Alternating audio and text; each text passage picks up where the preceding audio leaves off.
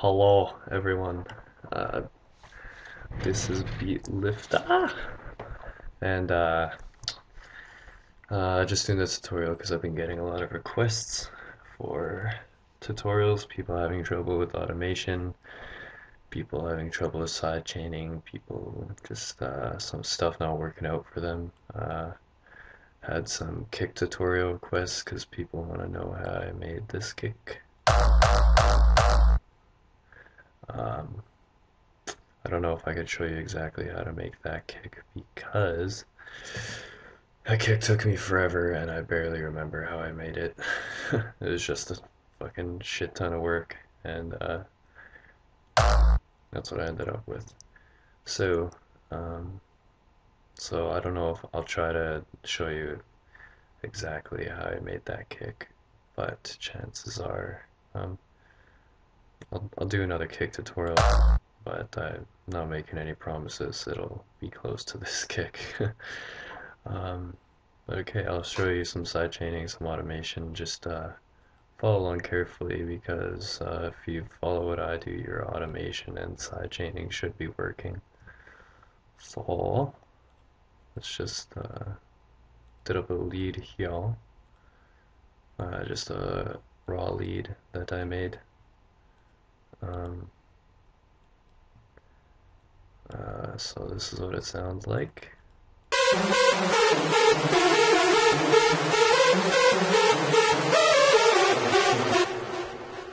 It's a simple short lead. So, um, for those of you having trouble with automation, uh, so and uh, since I have two going, I'm gonna have to automate both of them. Uh, so uh, I'm just gonna use my uh, low pass filter here uh, and use the cutoff uh, last tweaked, create automation clip, and this one do the same.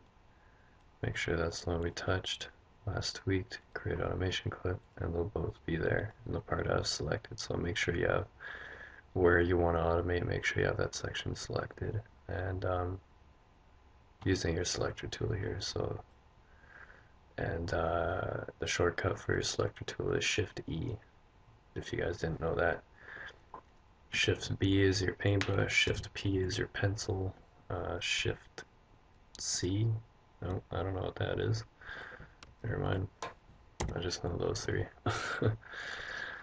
so I just do a simple build, give it some tension, Let's go 15% tension on both of them. And then if you did this correctly, it should sound something like this.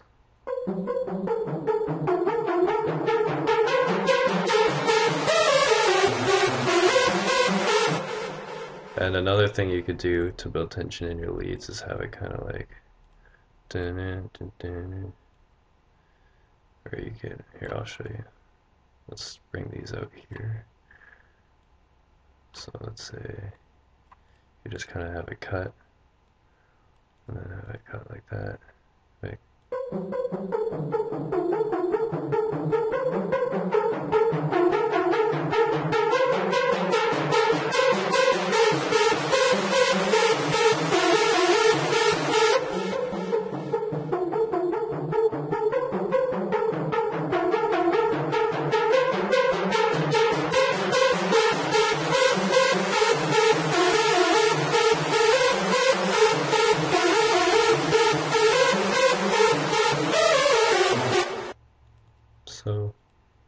something like that. Um, hopefully you guys got that I'll show you guys side chaining. Um, and you don't want to use your hardstyle kick as the trigger if you are using a hardstyle kick or even if you're using a kick with a long tail on it because uh, the side chain the compressor will just constantly compress since the kick is so long and it won't uh, the uh, it won't give it room to breathe so you want to use like a simple club kick like this. Whoops. Let's put that on channel 12. So, and let's take, where is it? I think the lead is on this one. I'm just going to take this off. So this is on, so I just took this lead because it's easy to sidechain with. And uh, let's put kick in there. Whoops. I'm all over the place today. Actually, I'll just have that on repeat.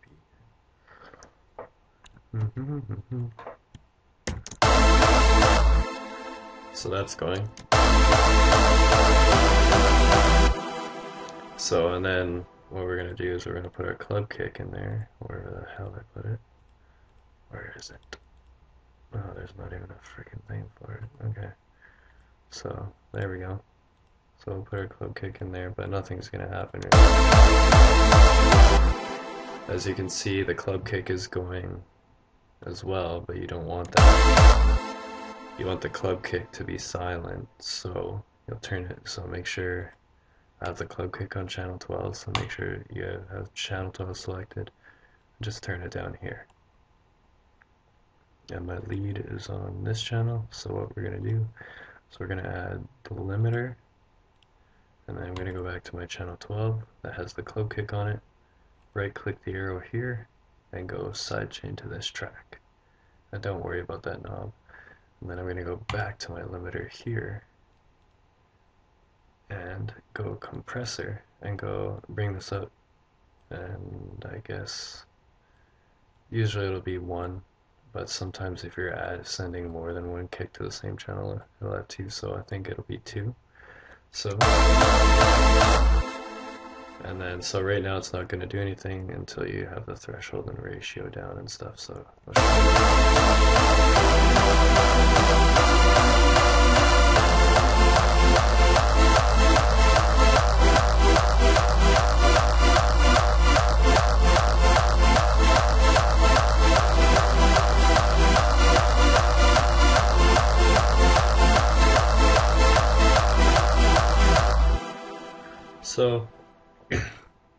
there's simple sidechaining, quick and easy. Um, obviously I'm unorganized here doing this tutorial, but uh, I have shit all over the place, nothing's named, but make sure you keep everything organized and neat, that way it's a lot easier to uh, continue with your song and go along with it. And so there's sidechaining. Uh,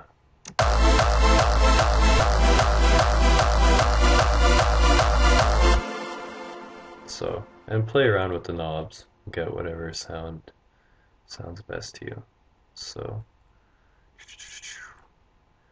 and I may as well wait I'll show you guys uh, someone was having trouble with this which is the EQ suite that I showed in one of my other videos.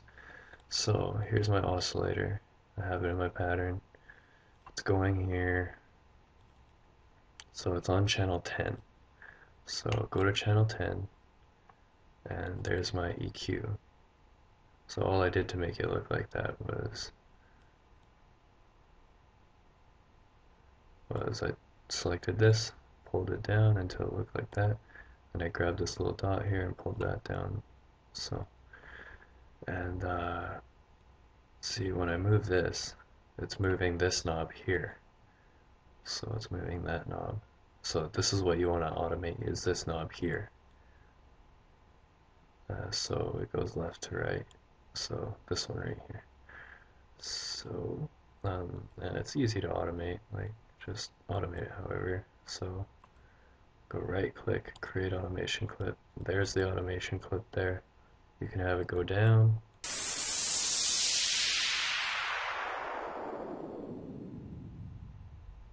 Could have it go up.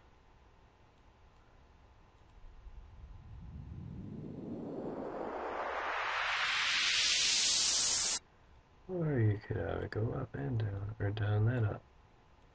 Oh, I bend for me, stupid thing.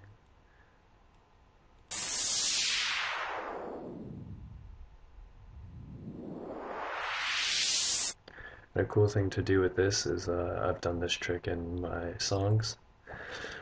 Uh, is um, I've actually automated it from left to right. So let's here's the panning here, same channel right click, automate. So And then now it's going to sound like this. Listen.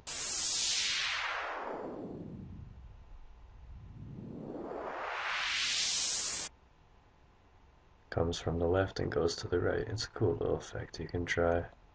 And use panning a lot because um, this is probably going to sound ridiculous. It's just for fun right now. But yeah, I use panning a lot. Um, panning automation is awesome and it makes for a more fun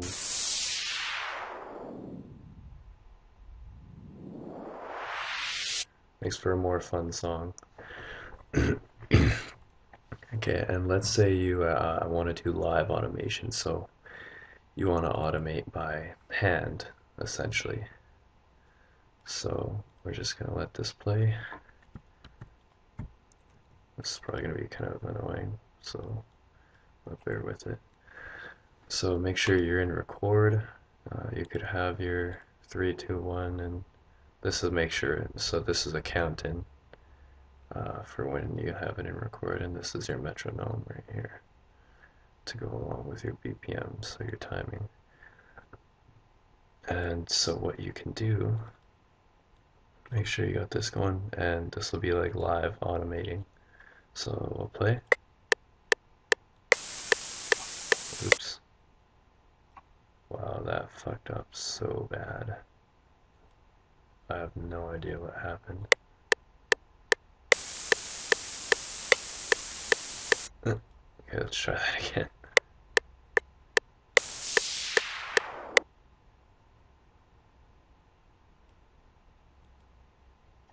What the fuck?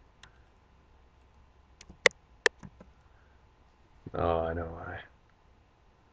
Because this isn't long, so it's Okay, let's make this longer. There. Now it should work. So, live automation. Once again, let's try this again.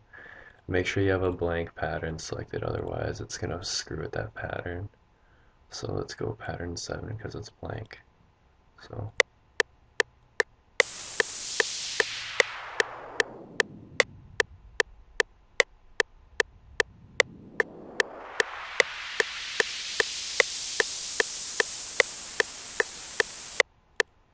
Obviously I messed up there, but as you can see there's my automation. But since I had it on pattern 4, it's all messed up. I totally fucked that up. I'm sorry, guys. But uh, there's my automation.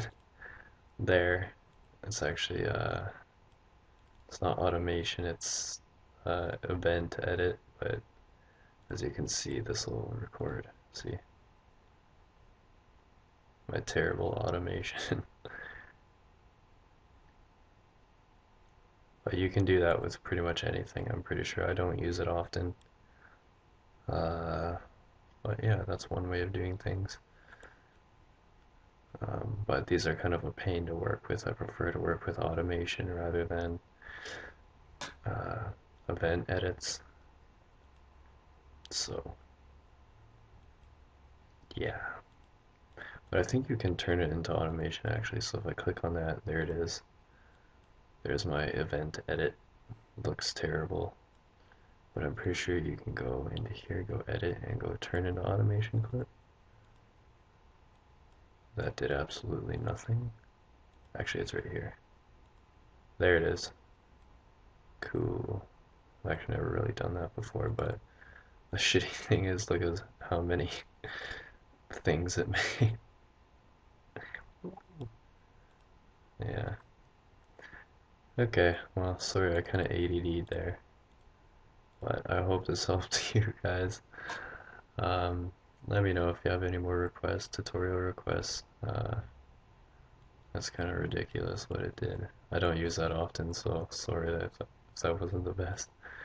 Um, but yeah, let me know if you guys need more help. Message me. Feel free to message me and I'll try to help you out best I can. And as far as a new kick tutorial goes, I will do one. Uh, I'll, I'll try to get it close to that kick, but that is my kick, 100% me. Um, so, uh, have a good one, guys. Um, hope this helped. Peace out. Later.